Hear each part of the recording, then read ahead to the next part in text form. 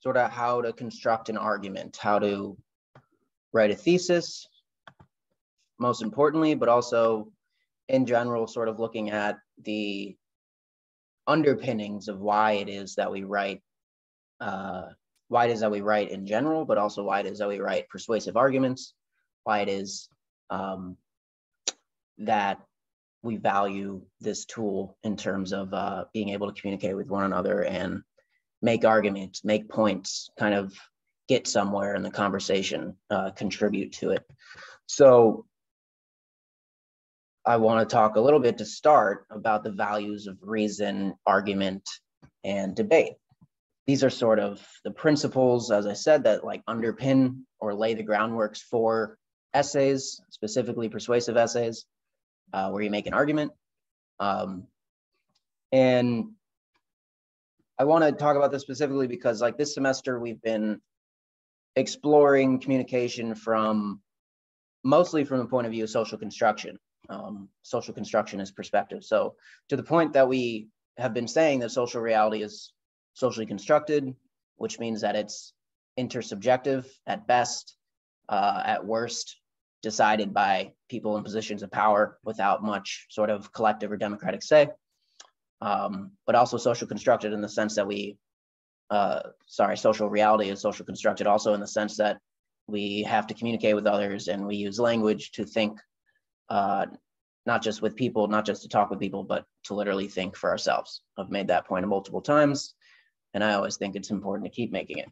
Um, and we we use language and we talk with, with each other in order to come to terms with uh, our realities, our social realities at the least, but also sort of our relations to material environments as well. Um, and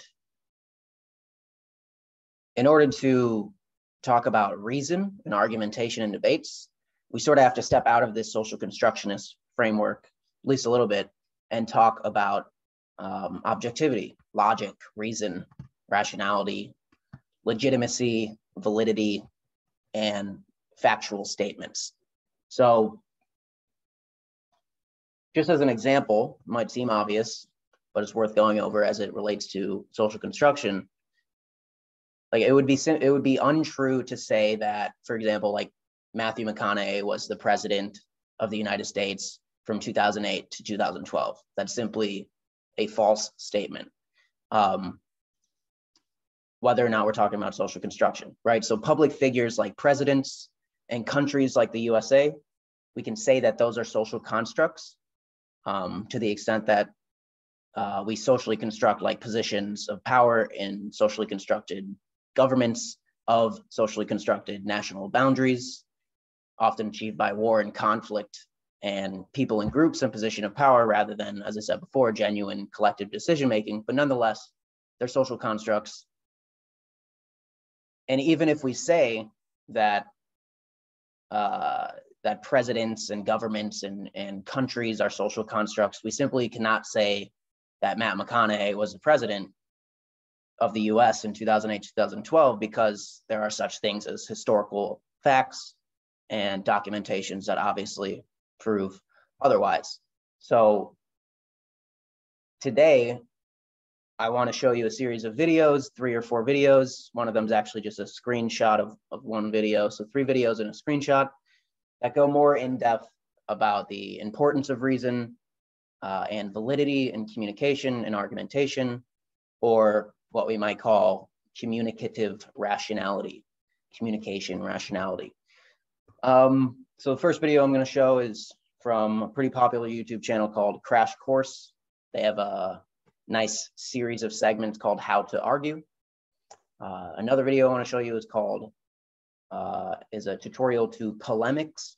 Might be a word they haven't heard before. It'll define it in the video. And other video I want to watch is a video called How to Win Arguments Without Making Enemies. Uh, and then lastly, there's a snapshot of a video I want to show you just about writing a persuasive uh, argumentative thesis statement and also like following through with that thesis statement with um, sort of considering paragraphs as mini essays, building a bunch of mini essays into a larger essay, typically five paragraphs. If we're dealing with a shorter paper, that formula just extends as the paper gets longer. So the first one I want to watch, I'll pull up, like I said, is the how to argue crash course. We're just going to watch the first three and a half minutes that I think are interesting. Talks about the sort of where we get our understandings of reason and rationality as they relate to human behavior and human thinking and human interacting. Uh, talking about the influences from like Plato and Aristotle, who are philosophers um, from ancient Greece, I believe. So let me pull up that video. Moment.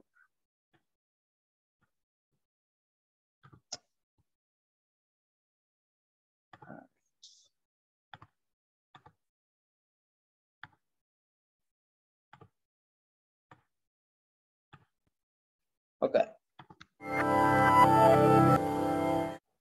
Crash Course Philosophy is brought to you by Squarespace. Squarespace, share your passion with the world. Aristotle once described humans as the rational animal. Well, actually, he said that man is the rational animal, but we don't have to be sexist just because he was. And if you've ever gotten into an argument with someone about religion or politics or which Hemsworth is the hottest, then you've experienced how irrational people can be about their opinions. But what Aristotle meant is that rationality is our distinguishing characteristic. It's what sets us apart from the beasts. And no matter how much you disagree with someone about God or Obama or Chris Hemsworth, you can at least grant that they are not beasts. Because most of the time at least, people can be persuaded by arguments. You use arguments all the time, in the comments, at family dinners, with your friends. You probably just don't think of them the same way that philosophers do. When you try and convince your parents to loan you the car, or when you're talking up crash course to your friends, you are using arguments. Thanks, by the way. Each time you tell someone to do or believe something, or when you're explaining why you do or believe something, you are giving an argument. The problem is, the vast majority of people aren't really good at arguments. We tend to confuse making a good argument with like having witty comebacks or just making your points more loudly and angrily instead of building a case on a solid foundation of logic, which can be harder than it sounds. But learning about arguments and strong reasoning will not only make you a better philosopher, it will also set you up to be a more persuasive person, someone who people will listen to, someone who's convincing. So yeah, these skills are beneficial no matter what you want to do with your life, so you might as well know how to argue properly.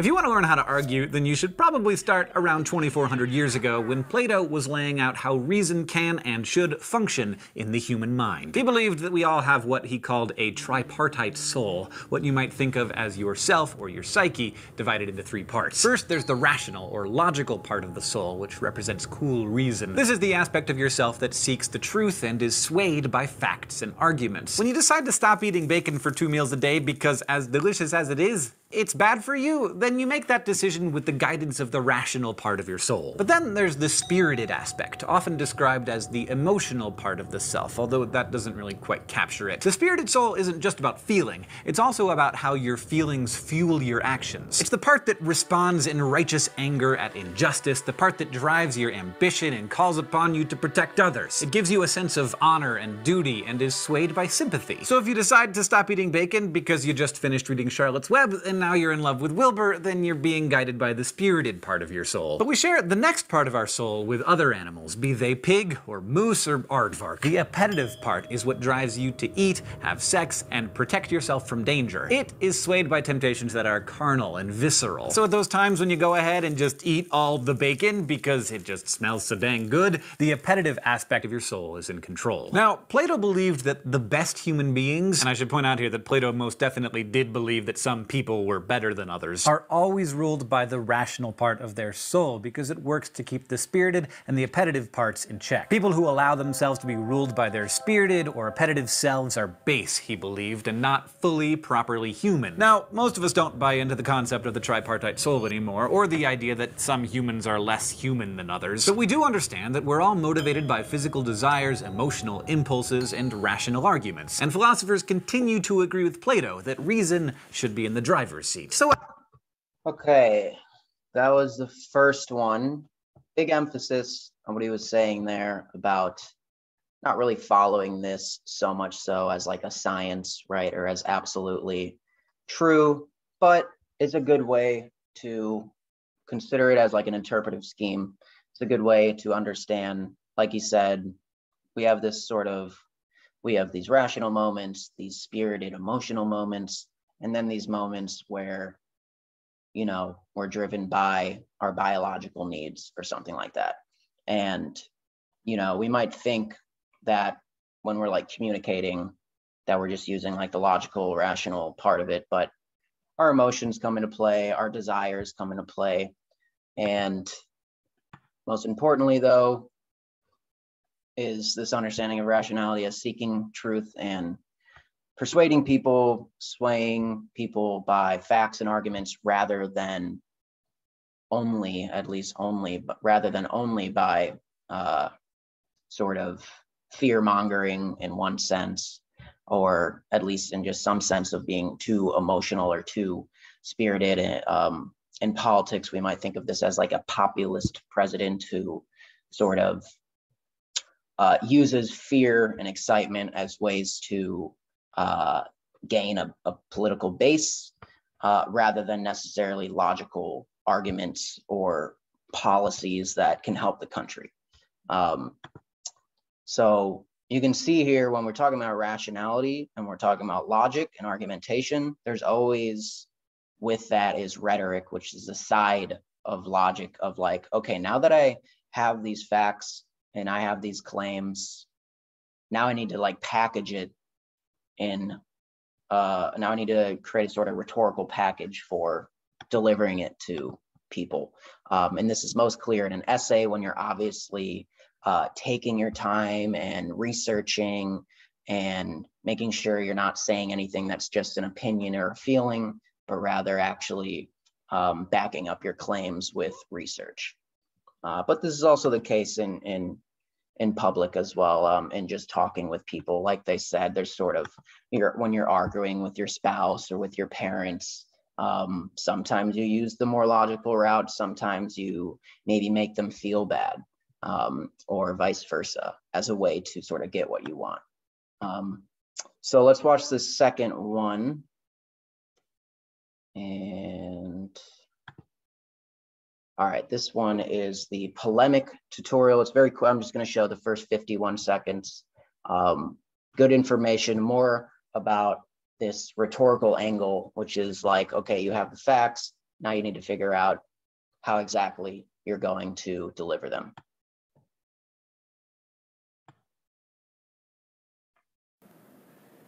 Okay, so knowing who your audience is is incredibly important when you're writing to persuade.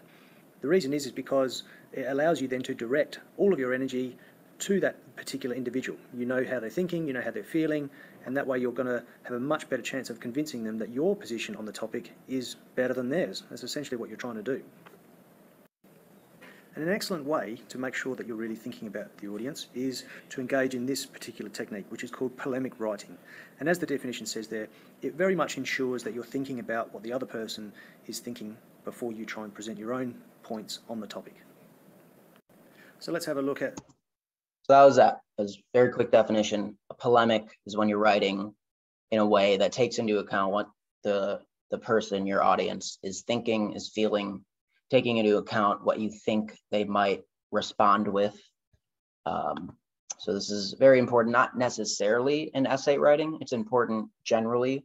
It can be important in essay writing, but it's especially important in debates or just trying to get your opinion across in a way that you actually want to come to some mutual agreement or persuade the other person rather than just sort of spout how you feel or um, relieve some emotions by, you know, saying whatever it is that you need to get off your chest.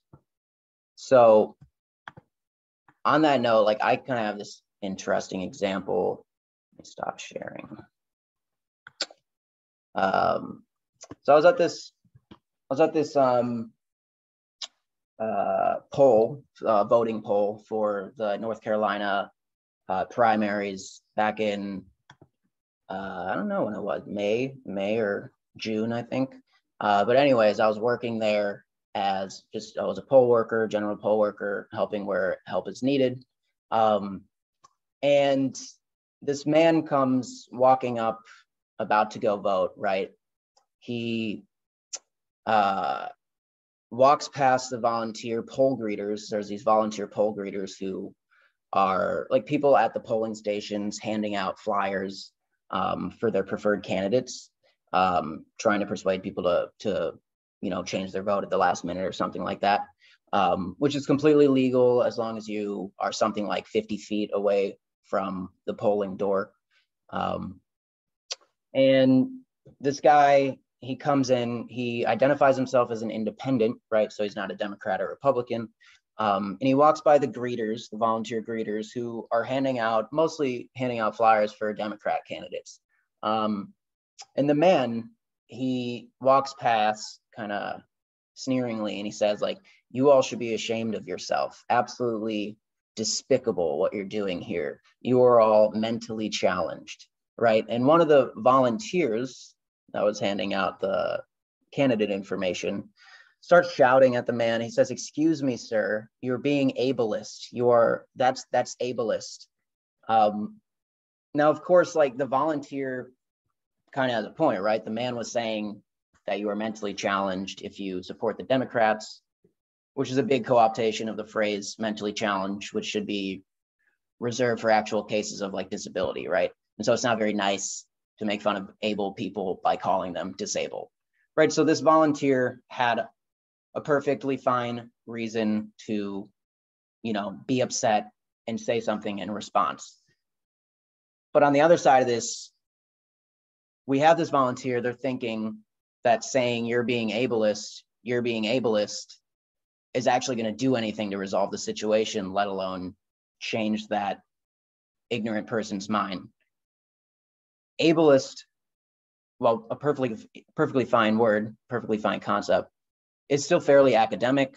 It's activist terminology, and throwing it around like can sign can kind of it's maybe it's not, but throwing it around can seem pretty elitist and like you're coming from this condescending perspective, like you're smarter than them, like you're morally better than them. So in this situation, like we have these, we have both people here, right? We have the angry man yelling at the volunteer. We have the volunteer, you know, responding how they do and they both storm off. They leave the situation, hating the other side even more.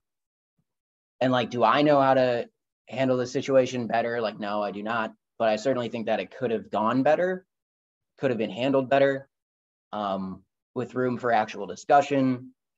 Even if someone comes in red hot, con- red hot, calling someone mentally challenged, just like point here is like, if the goal maybe your goal isn't to persuade or change someone's mind or make them see the right path or whatever.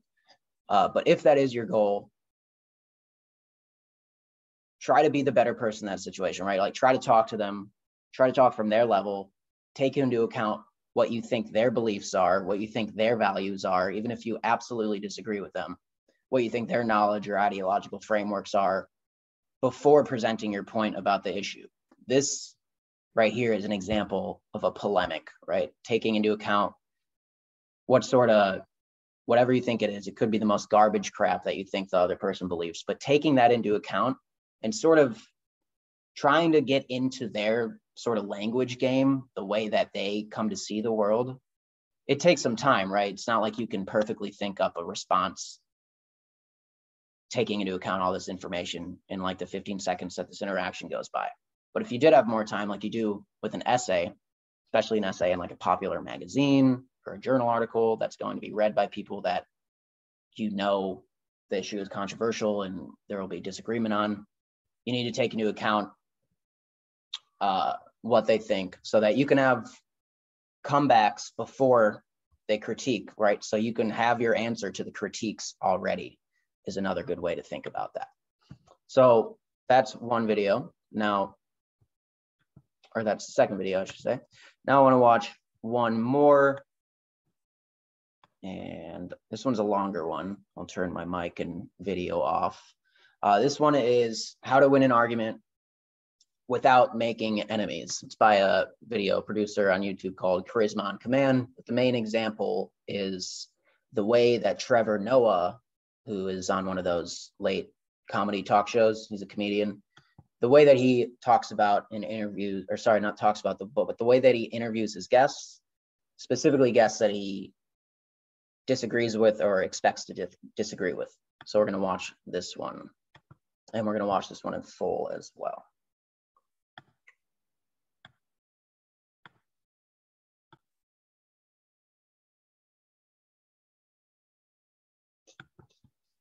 Sometimes arguments can get heated and spiral out of control. Or how about the more than a billion those- people those who are aren't Muslim fanatical, who don't punch Well, women, who just want to just want to go to the store. wait a second. Sandwiches, Wait a French second. fries times a day. All right. When Wait they a don't do second. any of the things, But they're you're saying all Muslims. Okay, wait I'm- a no, second. wait, wait, wait, wait. I'm not- I'm Stereotyping. not- And while we all want to win our arguments, not making an enemy in the process can be even more important. Which is why today we're going to be looking at Trevor Noah and what you can learn from him about coming out of verbal scruffs not only on top, but looking cool, calm, and collected. First off, Trevor has a simple but effective habit to prevent emotions from getting too heated. His subcommunications indicate that he isn't there for a fight. To see this principle in action, take a look at this exchange from his debate with Tomi Lahren and notice Trevor's tone of voice compared to Tomi's. That's not, that's not fair, and that's true. No, no, That's- no, no, no, that's- no. It is fair, that's- Trevor, that's- because that's the not- shooter said, point blank, shooter said he's doing this because of Black Lives Matter. Yes, and there are many things you can say. As people get more frustrated, they have a tendency to raise their voices and talk faster, like Tomi does here.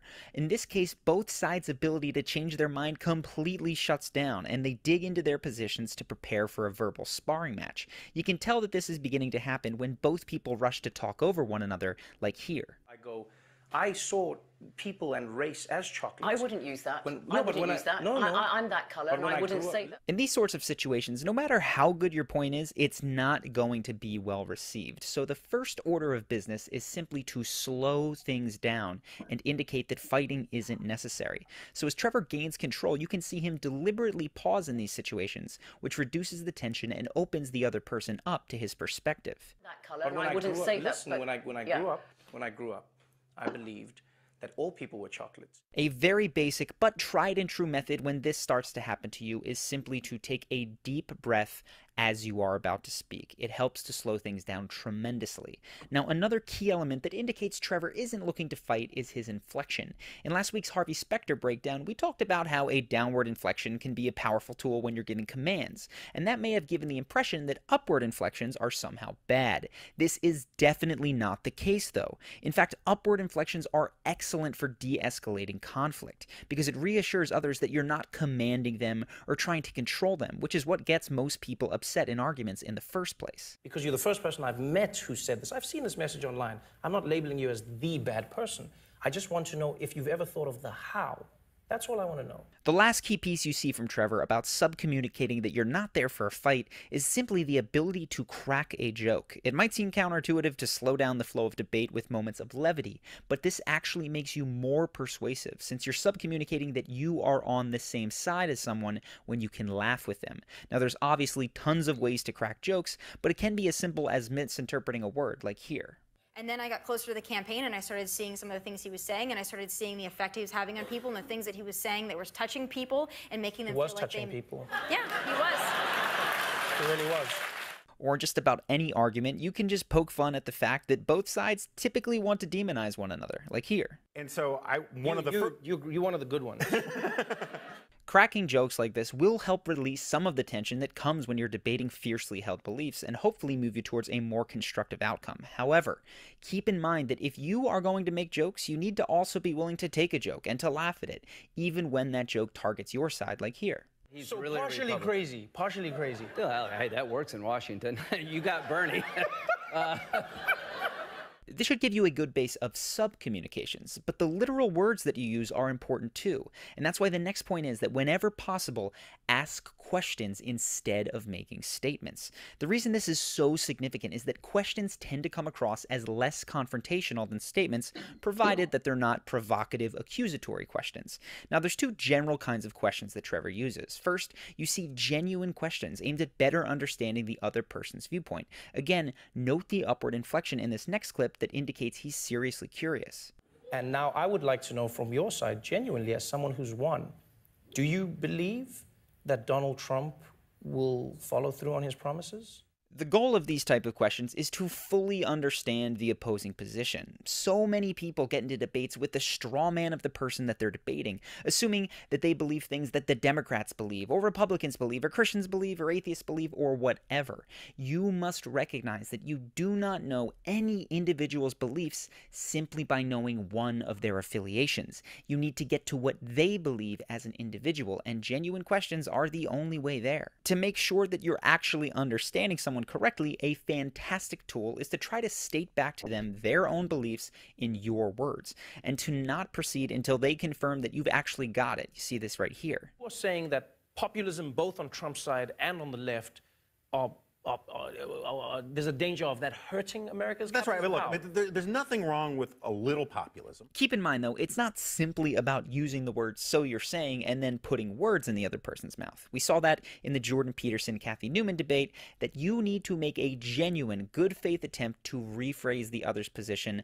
not like you see here. You're saying that we should organize our societies along the lines of the lobsters. Now, once you have a good grasp of someone's beliefs, you can begin to ask the second main type of question questions that probe for inconsistencies in beliefs in a non accusatory way. A very recent interview with the Republican Senator Rand Paul has a few great examples of this from Trevor. If two people do a bad thing, does it cancel each other out then? I, I'm saying that most people. People go, look at what happened in Venezuela, socialism. Then I go, does the corruption not count at all?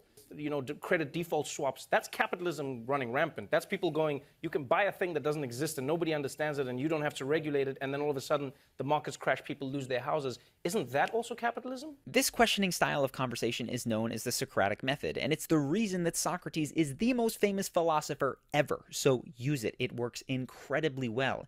In short, you're first attempting to understand people's positions as best you can, and then frame your disagreements in the form of questions. That gives the other person a chance to respond without feeling cornered, and it makes them much less likely to be offended.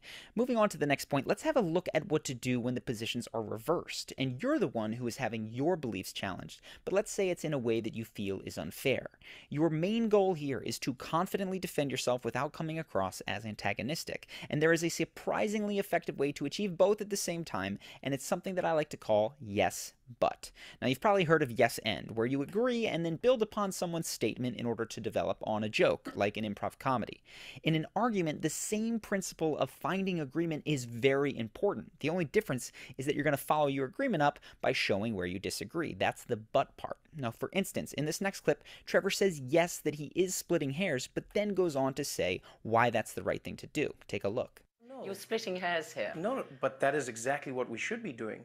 Because what you're doing is creating. I'm not sure I You're would- creating I'm not racial sure jokes. I would say No, you're what creating you said. monoliths. It may seem subtle, but finding any area of agreement can be critical to moving forward without making enemies. People's egos get tied up in their arguments, and oftentimes, when you rebut someone completely, they feel personally attacked, even if your position is perfectly logical. So find a way to validate them by saying yes to something about them or their argument. It can be recognizing the value of one part of what they said. On the first one. Like, I know, I'll give you that. I'll give you that. That was uh, that's pretty. It's nice to hear somebody say that the religion is not the problem. These crazy people. Or when you think nothing they've said makes sense, simply recognizing that they probably have positive intentions and believe what they're saying can be a really great way to move forward. Here's my, here's my thing. Like all these points that you make are great, and I do believe that you believe them, and I don't believe anyone is actively trying. There are a few people who are trying to be bad from their point of view. Uh, but when I look at what you're saying, Now, in order to do this technique effectively, you need to know specifically where you agree with someone and specifically where you don't. So, identifying hidden premises is critical. Hidden premises are unspoken assertions baked into a question or a statement. When someone creates an argument that feels wrong but you can't quite explain why, sometimes that's because you can't find the hidden premise. And sometimes it's because you're experiencing cognitive dissonance, but we'll leave that for another video to focus on the hidden premise. Here's one quick example. See if you can spot it here. What do you say to people who say like uh, the Daily Show can be an echo chamber? Did you catch the implied hidden premise? It's that being an echo chamber is a bad thing, something that you shouldn't be. So watch how Trevor responds. everything is an echo chamber. I think that's a term that people use to try and justify what a group of people are saying in and amongst themselves. I think for myself, you will always have an echo chamber because people who watch your show are people who like your show. This is a perfect example of yes, but. In this instance, by saying yes, The Daily Show is an echo chamber, he's validating Charlamagne, but then saying that it's natural to be so, he roots out that hidden premise that it shouldn't somehow be an echo chamber, and that way he is able to agree but defend himself elegantly. And we discussed this topic further in our Ben Shapiro video if you'd like to play this game a few more times, but for now, let's get to the mindset that ties all of this together, because everything in this video can move from a simple technique to a natural way of being if you adopt new mindsets. And there are three keys. First off, in every argument, you are not necessarily right. And this is especially true if you've never amended your belief system, be it political, religious, or otherwise. In those cases, chances are you're operating from conditioning, so genuinely trying to understand other perspectives can help you towards a more accurate view of the world.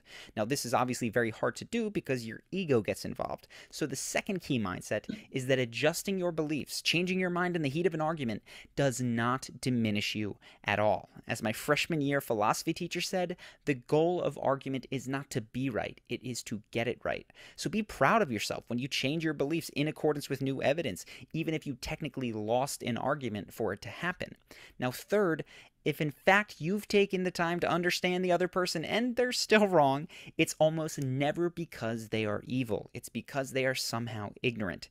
Dialogue can help to lift that ignorance, but only if you don't trigger their defense mechanisms by attacking them as people. Now, Trevor summarizes this well on Hot Ones. You know, I don't want to destroy you. I want to engage with you. And I, I think I think a lot of the time as people, if you have ideas you believe in, you should be willing to engage or you should be willing to test those ideas against somebody that, that you don't agree with. If you allow these mindsets to sink in, everything from the subcommunications to asking the Socratic questions to the yes but technique will come much more naturally as you jointly work with the people you're talking to to find solid and true common ground. To be honest, I find that that principle of seeking first to understand is very sparse in the modern media, and that's part of why my co-founder Ben and I started a podcast on heartwarmingly fantastic. All right, we don't need to hear the ad, but I hope that helped. I mean, there's a lot of videos out there on this sort of stuff. Charisma on Command's pretty decent. Um, the How to Argue crash course that we watched one of the videos of, also pretty well. And then more specifically for writing, um, uh, you can find stuff on YouTube about writing, but I mean, I just think exploring it from a more general perspective, um, rather than something that's necessarily focused on writing, is helpful in a lot of ways that you communicate in your life, right? We, we communicate with so many different mediums. And it's not always that like our mode of communication is to try to persuade, but at least it's very common mode of communication to just try to be understood, to try to be recognized, to try to feel like you're being heard and hearing the other people, right? So there's these were some good videos on that. I thought, um, but now I want to actually transition over to writing more specifically. Um, so I'm just gonna show this screen grab real quick and then talk to you a little bit about our final paper and connect them, right? So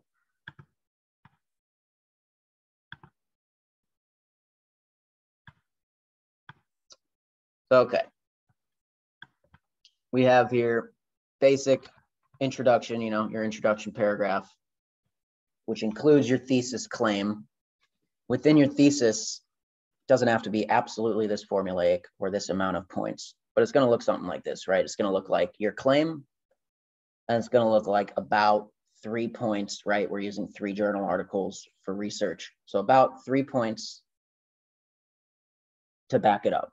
And then in your body paragraphs, you know, you can have a paragraph or however many feel you need for each point. And then, of course, you end with a conclusion summarizing everything, going back to that main thesis claim that you made in your first paragraph right? So an example they use is cell phones belong in school because they save lives, serve as learning tools, and can teach teenagers responsibly. So if this person was doing a, research article like we are, they would find one article that's about how cell phones can help save lives, one article about how cell phones serve as learning tools, one article about how they can teach teenagers responsibility. And I'm sure there's plenty more research out there on cell phones and why they're useful. I'm sure there's also plenty of research out there on cell phones and why they're not useful. So there could be just as persuasive of an article that's doing the opposite of what this paper is doing. Nonetheless, they're still following the same sort of formula. I say formula because obviously you see it's got claim, point one, point two, point three, conclusion. Um, and I'm not one to absolutely stick to formulas, especially in writing, and it's even much harder to do in talking.